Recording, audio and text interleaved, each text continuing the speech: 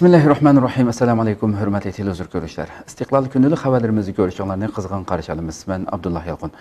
Proqramımızda vətənimiz Şərq Türkistan və dünyada olub atqan gün tərtibdəki xəbərlərini huzurunuzda sunuşdurışımız. Qənəmizə də qıtanlar ekranımız olsun.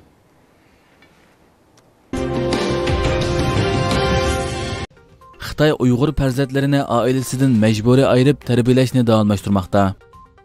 Ijtimoiy uchur vositalarida tarqalgan bir sin xitoy doiralarining uyg'ur farzandlarini oila muhitidan majburiy ayirib o'tilganligini yana bir qitim isbotlab berdi. Sinda ko'rsatilishicha o'xshash kiydirilgan 40-50 ga yaqin uyg'ur bolalari bir qo'roqqa ilib kirilgan.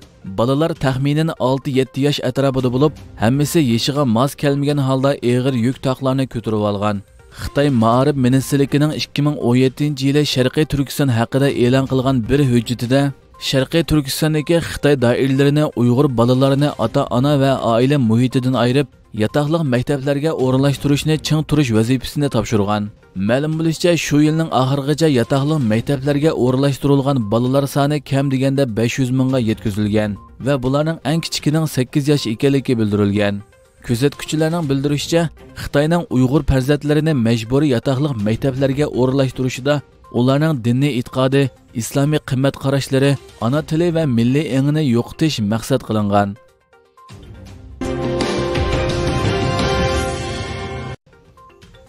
Xitoyning Turkiyadagi bosh elchixonasining so'zlari Turkiyada qattiq norozilik qo'zg'adi.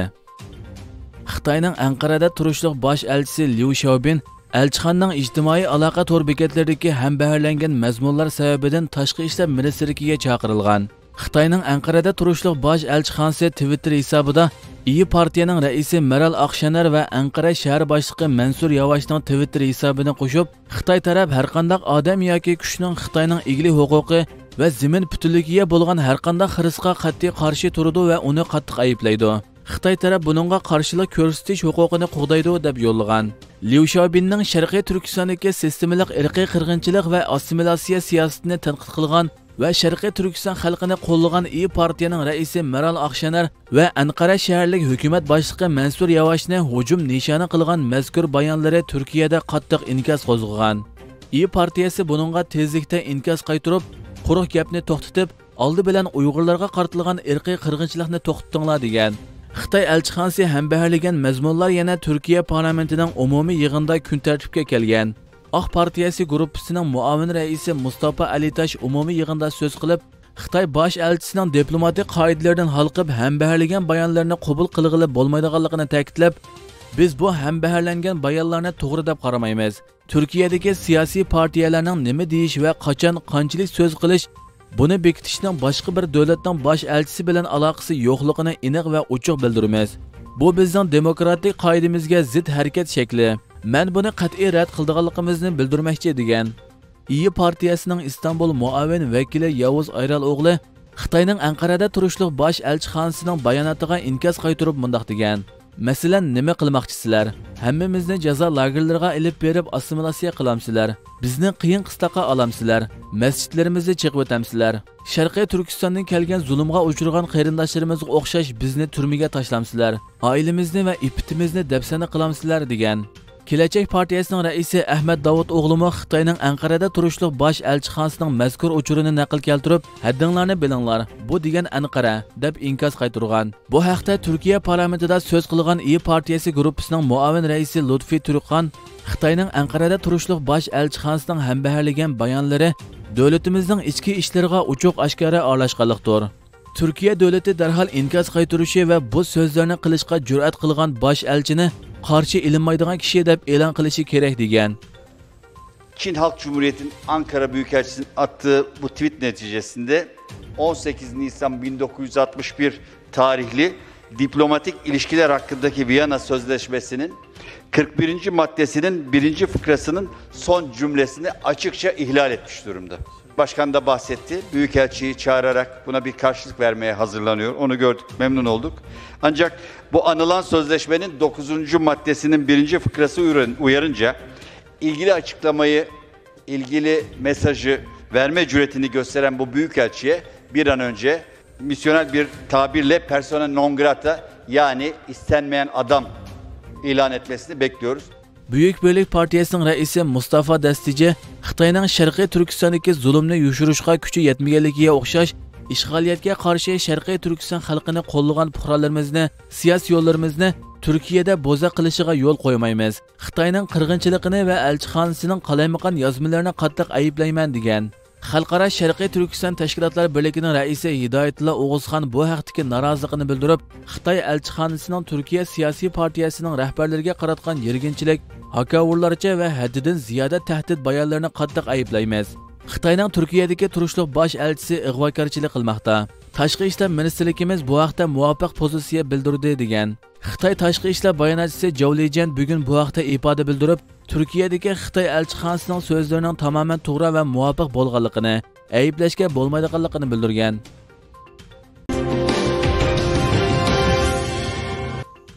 Uyg'ur ayol chet ellik oldida ko'z yeshi qilganligi uchun 3 yillik kesildi.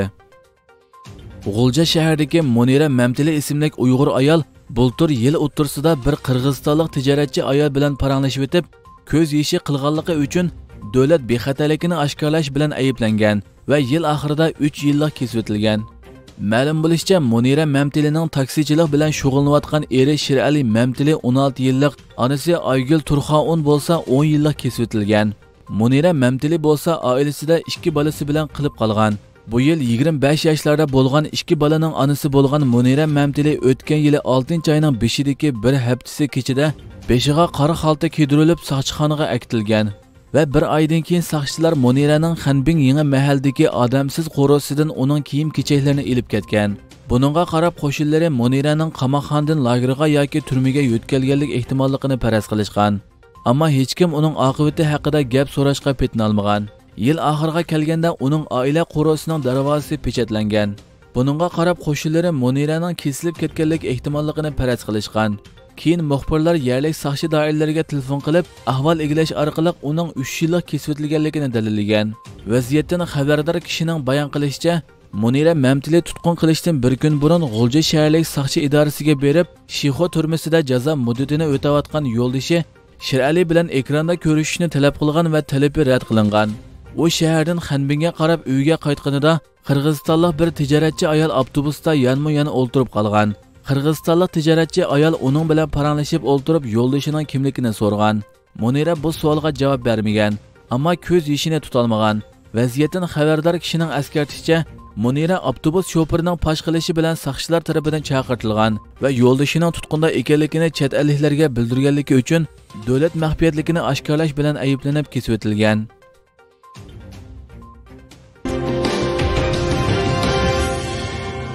Facebook xizmatchilari Xitoyning Uyg'urlarga munosabatlik tashviqotlaridan bearam bo'layotganligini bildirgan. Wall Kutsi gazetining 5-aprildagi xabarda bildirilishicha, Facebook xizmatchilari o'z supusida Xitoyning Sharqiy Turkistonga munosabatlik tashviqotlarini tarqatayotganligidan bearam bo'lganligini bildirgan. Xabarda qayd qilinishicha, bir qism Facebook xizmatchilari ichki suhbatlarida o'z andishlarini bayon qilgan bo'lib, ular Xitoy Facebook shirkatini tashviqot quroli sifatida ishlatyotidi deb qaragan. Xitoyning irqiy qirg'inchilik jinoyati xalqarada g'ulg'ula qo'zg'ab, Xitoyga jazo yurgizilayotgan bir paytda Facebook supusida bir qism Xitoy organlarining e'lon yozmalari ko'rinarli ko'p tarqatilgan bo'lib, mazkur e'lonlarda Sharqiy Turkistonda Uyg'ur va boshqa yerlik millatlarning taraqqiyoti ko'plab tashviq qilingan. Facebook hozirgacha buningga biror tadbir qo'llanish haqida qaror chiqarmagan. Xabardor shaxslar bu haqda to'xtalib, Facebookning navbatda Birlashgan Davlatlar Tashkiloti qatori xalqaro tashkilotlarning Sharqiy Turkiston masalasiga qanday inkos qaytarganligini kuzatayotganligini bildirgan.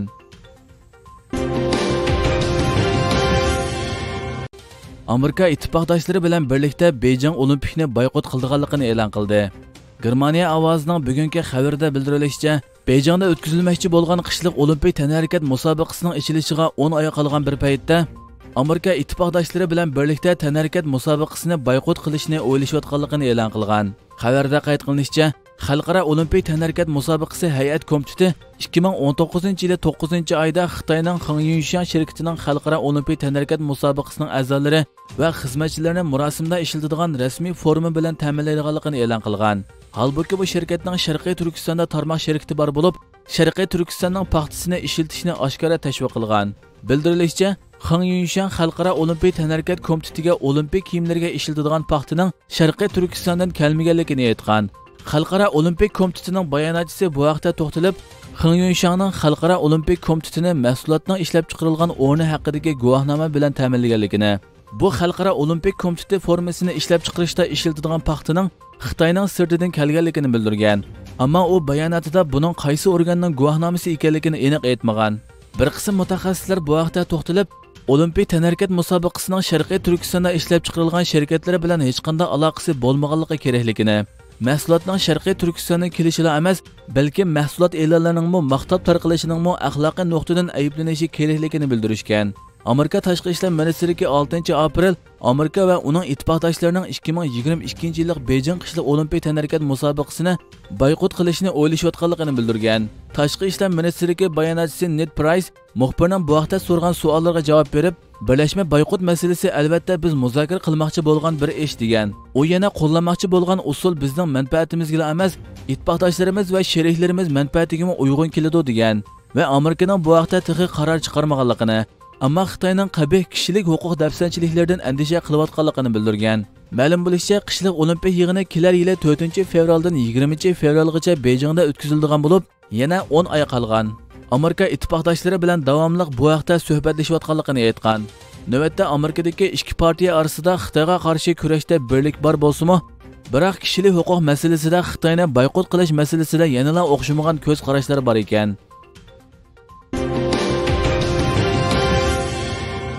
5 davlat Xitoyga bisim qilish maqsadida birlashma manevr o'tkazdi. Germaniya ovozidan xabarda bildirilishicha, Amerika, Yaponiya, Hindiston, Avstraliya va Fransiya Xitoyning dengizdagi zo'migarlik harakatiga qarshi harbiy manevr o'tkazgan. Xabarda qayd qilinishicha, to'rt taraf bexatarlik dialogi munbiriga tava Amerika, Yaponiya, Hindiston va Avstraliya 5 apreldan 7 aprelgacha Fransiya bilan birlikda Hindi Tinch okean rayonida 3 kunlik manevr o'tkazgan. Bu mazkur munbar 2019-yili ministri darajalikka o'tkazilgandan keyingi Xitoyga qarshi yana bir cho'ng harakat hisoblanadi ekan.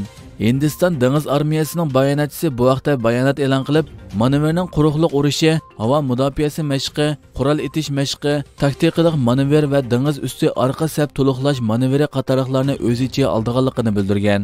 Fransiya Xalqaro munosabatlar institutining dotsenti Isabel Senit Mizartning bildirishicha, 5 davlat bu qitimliq birlashma manevri orqali qoidani asos qilgan ko'p taraflik tartibni ta'kidlagan.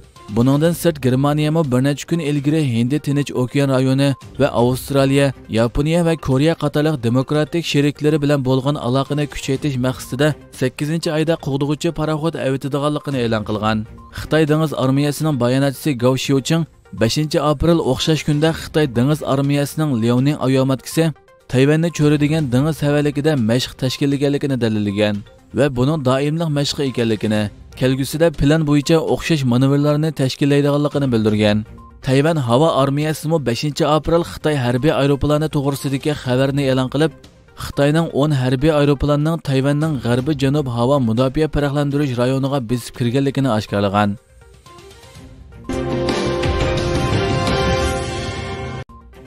Xitoyning alohida yassi tashviqoti diqqat qo'zg'adi. Sharqiy Turkistondagi zo'r tutqunning xabariga ergishib, necha yuz ming Uyg'ur sabiylarining har xil nomlardagi yasillarga to'planib, kollektiv minga yuyishning qurboniga aylanayotganligi ma'lum bo'lgan edi.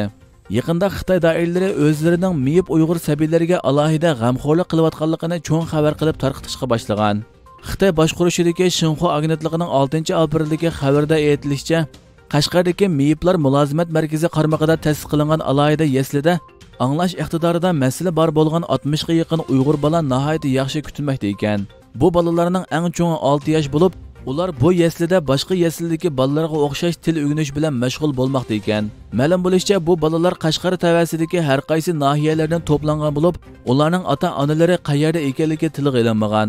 muhojiratki analizchilar bu haqda fikr qilib, Buning amaliyotda Xitoy doiralarining yaqinqi mezgillarda borgan siri yuqori pallaga chiqayotgan Xitoyni ayblash sadolarga taqobil turish tadbirlarining biri ekanligini bildirishgan.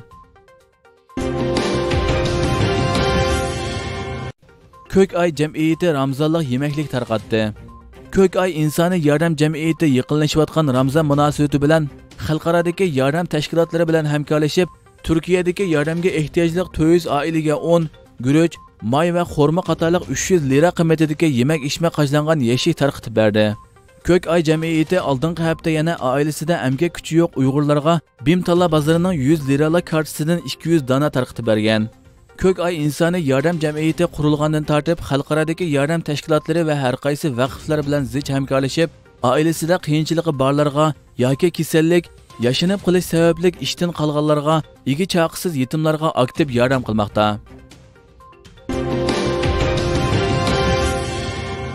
Türkiyədə bir gün içində Xitay virusu bilan yuqumlanğucular 50 minga yaqınlaşdı. 6 aprel Türkiyə Səhiyyə ministri Fahrettin Qoca bir gün içində Xitay virusu bilan yuqumlanğucularning 49584 ga yetganligini e'lon qildi. Səhiyyə ministrining ma'lumotiga asoslanganda Türkiyədə Xitay virusu bilan yuqumlandi deb gumon qilingan 271547 kishi tekshirilish orqali yangidan 49584 kishining yuqumlanganligi aniqlangan. Navbatda 2003 kishi doktorxonada bo'lib bir kun ichida yana 211 kishi qazo qilib 28498 kishining salomatligi asiga kelgan. Turkiyada xitoy virusi tarqalishga boshlagandan beri salomatligi asiga kelganlar jami 3 million 159 mingga. Qazo qilganlar 32667 ga kesili og'ir bemorlar 2477 ga yetgan.